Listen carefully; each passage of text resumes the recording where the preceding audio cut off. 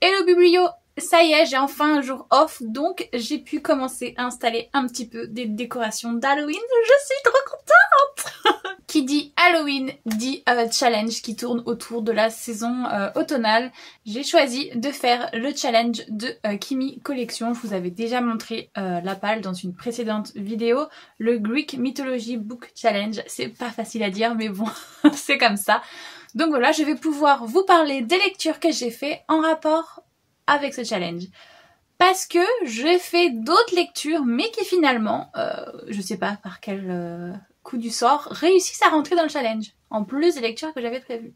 Donc c'est cool. Il y a des catégories que du coup j'ai déjà validées, alors que j'ai pas encore lu le livre que j'avais prévu de lire. Mais bon, c'est pas grave, on le lira après. J'ai un petit peu avancé dans la saga Naruto. J'ai lu tome 4, le 53, 54, 55 et 56. Euh, euh, du coup, ça rentre parce que c'est euh, des combats, la guerre, se battre, voilà, des guerriers. Donc ça rentre dans le challenge de Kimi parce qu'il y a une catégorie qui est consacrée à ça, c'est Achille. Donc mes 4 Naruto rentrent dans la catégorie Achille, même si j'ai lu d'autres choses qui peuvent rentrer dans cette catégorie. Donc celle-ci, elle est complète, validée, c'est fait, on est contente. Pour ceux qui connaissent pas l'histoire de Naruto, c'est l'histoire de ce jeune homme qui, euh, il y a 13 ans, dans son village, un démon euh, est venu l'attaquer et donc euh, les villageois, pour se protéger, ont enfermé le démon dans le corps de ce jeune garçon que vous voyez ici. Et du coup, malgré que, en gros, il ait fait du bien à son village, le village le marginalise le met un peu en banc de la société parce qu'il a quand même un démon en lui, donc c'est pas très jojo. Et donc du coup, ce jeune homme qui est marginalisé souhaite devenir euh, un super grand ninja pour qu'il soit enfin respecté et admiré par les gens de son village.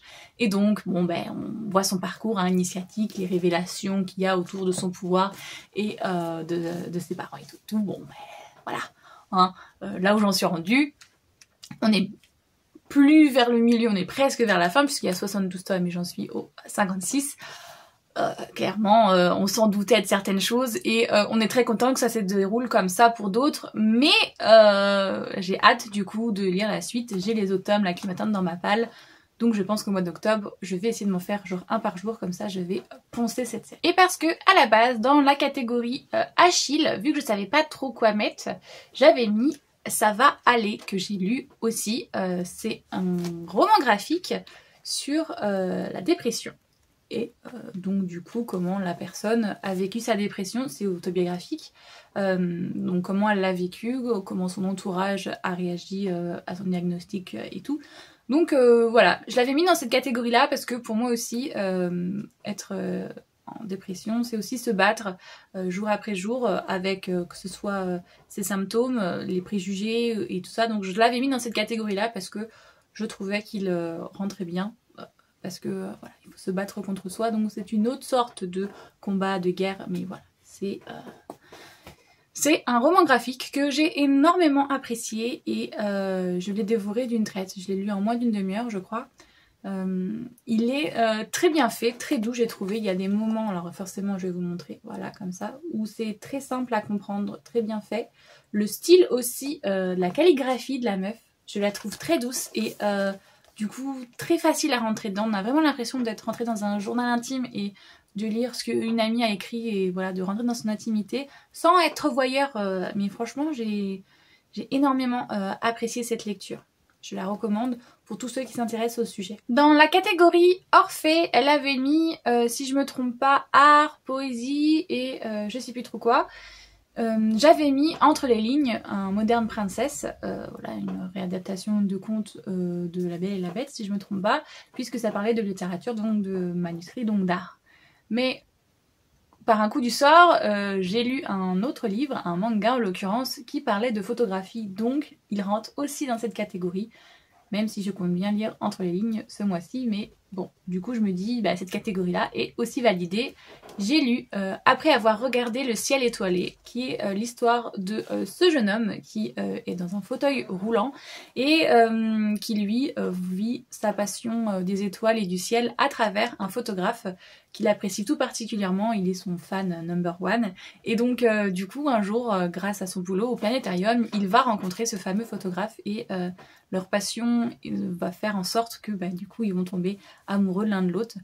Euh, j'ai énormément aimé l'histoire d'amour entre les deux, mais je mets un petit bémol parce que il y a un message qui est fait passer qui euh, m'a interpellée. Euh, en gros, le photographe là, c'est le brun et le jeune homme handicapé. un moment, ce jeune homme lui explique que justement, il est à cause de son fauteuil assez bah, empêché de faire certaines choses puisqu'il n'a pas accès à tout ce qu'il veut et voilà, il se met des, barrières à lui-même et c'est compréhensible parce que la société n'est pas forcément adaptée à son handicap. Et hmm, j'ai pas aimé la réponse de celui-ci euh, qui lui raconte que euh, en gros quand on veut on peut. Mais mec, d'où? Euh, Alors il l'encourage à faire plein de choses et c'est très bien, c'est très beau, leur histoire d'amour est cool, mais ce, message de quand on veut on peut, en gros c'est pas parce que tu as un handicap que tu peux pas faire les choses. Alors ok, les personnes en situation de handicap euh, ont le droit de... Enfin, peuvent faire certaines choses qu'on ne s'y attend pas forcément et elles se mettent des barrières parce qu'elles pensent être en gros des fois ne plus être bonnes à rien alors que c'est absolument pas vrai. Mais le fait de quand on veut on peut. Ah je suis désolée mais je suis pas du tout d'accord avec cette réflexion pour avoir vu des documentaires justement de personnes en situation de handicap qui parlent du fait que le monde n'est pas adapté à eux. Rien que dans Paris certaines choses ne sont pas faites pour eux. Et pourtant Paris est une ville euh, très moderne très dynamique. Mais non, les personnes en situation de handicap, malheureusement, ne peuvent pas aller partout et ne peuvent pas faire tout ce qu'elles veulent. Et donc ce, ce message sous-jacent là, je l'ai pas trop apprécié, mais en fait c'est un tout petit grain de sable qui du coup vient dénoter l'histoire parce que l'histoire en elle-même est très belle. Justement, c'est l'histoire d'un homme euh, valide qui va tomber amoureux d'un homme non valide et qui vont faire leur histoire d'amour ensemble malgré euh, la différence et, euh, et c'est très bien. Mais cette phrase-là, je l'ai eue comme ça, là. J'étais en mode, non.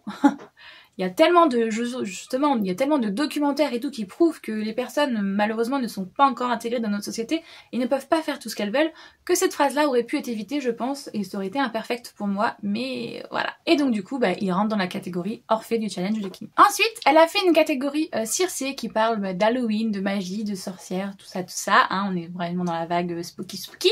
Et eh bien forcément, euh, j'avais prévu une BD en conséquence et je l'ai lu. J'ai lu L'île du crâne, qui est une adaptation d'un roman déjà existant qui date un petit peu maintenant, qui je crois, euh, si je me souviens bien, date des 88. Enfin, c'est écrit.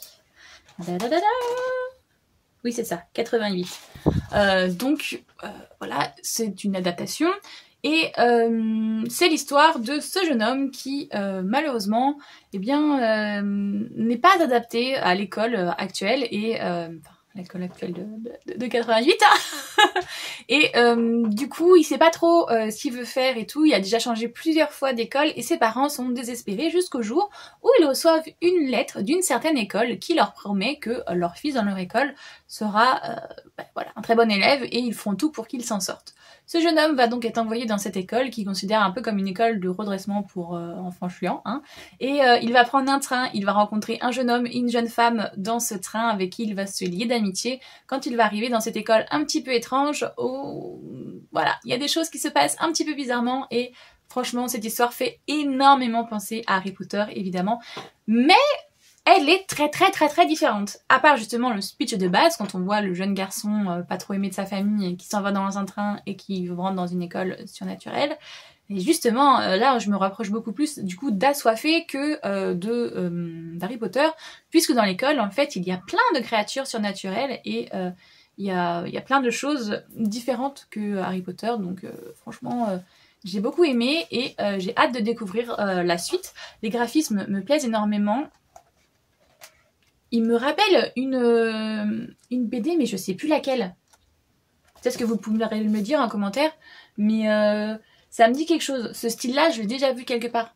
Ça me fait penser à si je sais euh, comment il s'appelle là, un peu au Super S. C'est pas ça, c'est pas celle-ci que je veux, mais ça fait un peu penser à ce genre de graphisme-là. Donc voilà, j'ai apprécié, je la recommande et j'ai validé une catégorie. Alors, elle a fait une catégorie euh, Kimi qui s'appelle euh, Dionysos où il y avait euh, écologie, nouveau genre et, je sais plus quoi. du coup, moi, je m'étais vraiment plus attardée sur nouveau genre et quand je suis allée à l'événement de Hugo Roman des 10 ans des dédicaces, du coup, J'avais acheté des livres pour ma sœur, donc du coup ce ne sont vraiment pas des livres pour moi, mais j'ai passé un certain temps, euh, enfin je toute la journée là-bas, donc du coup c'est vrai qu'il y a eu des moments où je me suis un petit peu embêtée et bah du coup j'ai lu. J'ai lu des albums pour enfants, donc choses qui ne sont pas dans mes lectures habituelles, donc pour moi c'est un nouveau genre, ça rentre dans cette catégorie. J'ai lu tout d'abord Les Amoureux, qui est un très bel album qui rend hommage, justement, attendez, il est tellement grand ce truc que vous voyez pas, là, il est beau pourtant, j'aimerais bien vous le montrer, voilà, euh, qui rend hommage justement euh, à l'amour sous toutes ses formes. Alors, hop, hop, vous voyez, vous avez un petit texte là des fois plus ou moins grand, et à côté vous avez une magnifique illustration qui illustre le propos. Et donc comme je vous disais, des fois euh, c'est sur des amours naissants, des fois c'est sur des amours plus longs ou alors des fins de relations ou des parents à leur enfant. Donc c'est vraiment un ouvrage qui parle de l'amour dans tous les sens du terme et j'ai failli verser ma petite larme à un moment d'ailleurs. C'est une très très belle lecture et je pense que si ma soeur un jour n'en veut plus, parce qu'à la base c'est un cadeau d'anniversaire pour elle, je lui demanderai de me le passer parce que ne pas le jeter celui-là. J'aimerais bien le récupérer si elle n'en veut plus, évidemment. Et ensuite, dans cette même collection, elle m'en a demandé un autre que c'est Maman. Pareil, je l'ai lu, mais celui-là, euh, je l'ai pas lu ce jour-là, je crois. Je l'ai lu le lendemain, genre je faisais une insomnie. Et donc pareil, c'est un petit texte et à côté, euh, hop, une euh, déclaration un peu d'amour, de la poésie aux mamans. Et il est très beau aussi, mais j'ai quand même une préférence pour les amoureux, peut-être parce qu'il me parle plus parce que euh, voilà, parce que je suis pas maman. Mais euh, si, parce que comme j'ai une maman, je pourrais très bien aussi dédicacer ce que je ressens à elle. Mais voilà, je trouvais euh, les amoureux justement beaucoup plus universels, beaucoup plus inclusifs que maman. Donc j'ai préféré, mais franchement ce sont deux très belles lectures. Et du coup ça rentre dans la catégorie Dionysos. Dans cette catégorie-là, à la base, j'avais mis les mémoires de la forêt, que j'ai lu aussi, mais que du coup j'ai mis dans une autre catégorie et je vais vous dire juste après pourquoi Elle a fait une catégorie qui s'appelle la catégorie euh, Thésée, où il fallait soit lire un classique de la littérature ou un livre qui a été hyper hypé sur les réseaux sociaux. Et donc du coup, c'est ce que j'ai fait à la base, puisque j'ai lu un livre pour une autre catégorie juste avant, la catégorie euh, Dionysos, euh, puisque c'est un nouveau genre pour moi, c'est de la lecture jeunesse. Je ne lis pas de romans jeunesse, très très peu, hein, genre, même pas un ou deux par an. Donc vu ma consommation, c'est très peu pour moi.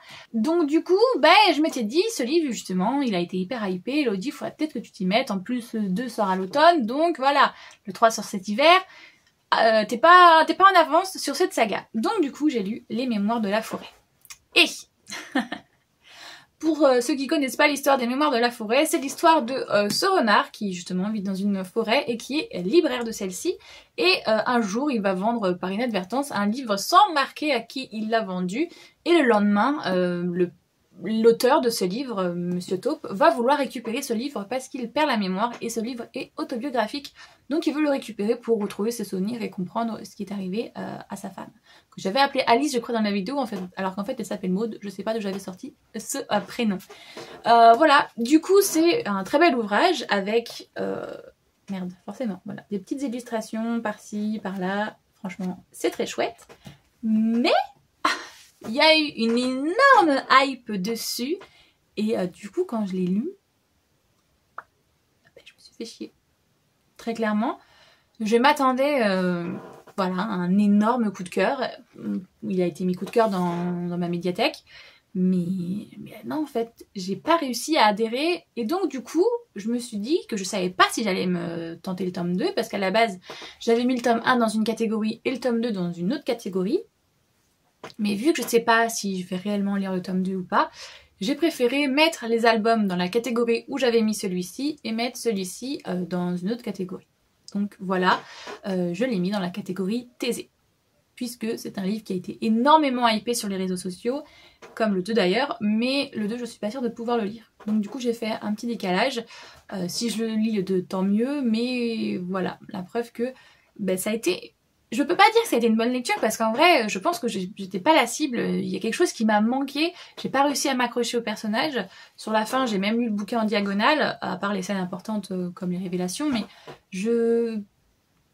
Non, je sais pas. Le livre est très beau. Euh, l'histoire euh, a visiblement marqué beaucoup de gens.